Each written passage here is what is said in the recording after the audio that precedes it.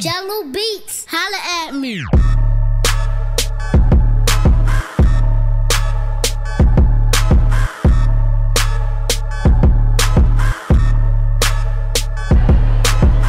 At home right now.